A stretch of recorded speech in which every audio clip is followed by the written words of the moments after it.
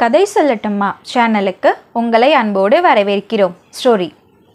ஒரு சிறுவன் தன்னுடைய நான்கு வயது சிறுமியை கூட்டிட்டு கடை தெருவில் நடந்து போயிட்டுருக்கான் அப்படி அவங்க நடந்து போயிட்டுருக்கப்போ ரெண்டு பேரும் அவங்களுக்கு சைடில் இருக்கக்கூடிய கடைகளில் என்னென்ன பொருட்கள் இருக்குது அப்படின்றத பார்த்து ரசிச்சுட்டு போயிட்டே இருக்காங்க.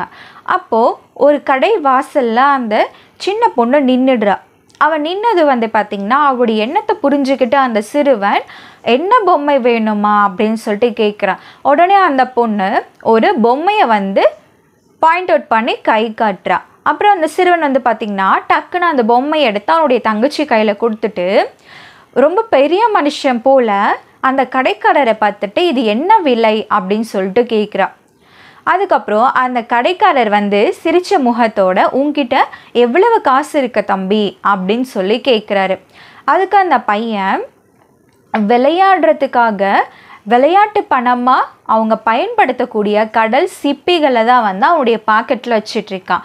என்கிட்ட பணம் கிடையாது சிப்பிகள் தான் இருக்குது அப்படின்னு சொல்லிட்டு அவன் தன்னுடைய பாக்கெட் நிறைய வச்சுருந்த சிப்பிகளை எடுத்து அந்த கடைக்காரர்கிட்ட கொடுக்குறான்.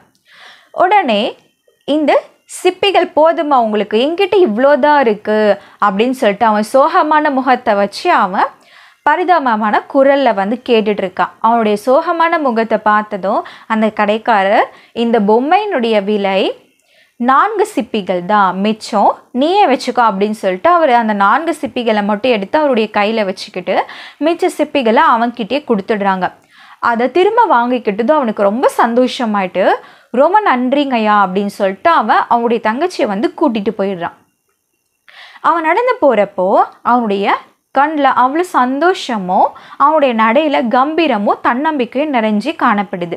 அதான் அந்த கடைக்காரர் பார்த்து ரசிச்சுட்டே இருக்கார். இங்கே நடந்த இந்த செயலை பார்த்துட்டு இருந்த அந்த கடையில் வேலை செய்யக்கூடிய வேலையில் ஒருத்தர் அவங்களுடைய முதலாளிக்கிட்ட கேட்குறாரு என்னங்கய்யா விலை உயர்ந்த ஒரு பொம்மையா?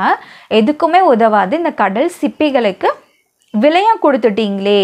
அது எதுக்காக கொடுத்தீங்க? நீங்கள் அந்த பையன்கிட்ட பொம்மைக்கான பணத்தை கேட்டிருக்கலாமே அப்படின்னு சொல்லிட்டு அவன் கேட்டாங்க. அதுக்கு அவர் வந்து சொல்கிறாரு அவனை பொறுத்த வரைக்கும் இந்த வயசில் இந்த சிப்பிகள் தான் உயர்ந்தவை.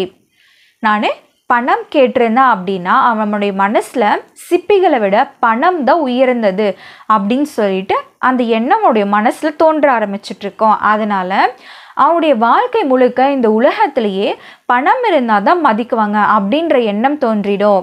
அப்படின்னு சொல்லிட்டு அந்த கடைக்காரர் வந்து சொல்கிறார் அது மட்டும் இல்லாமல் அவனுடைய தங்கச்சிக்கு அவள் ஆசைப்பட்ட பொருளை வாங்கி கொடுத்ததால் அவனுக்கு தன்னம்பிக்கையும் ஏற்பட்டிருக்கு.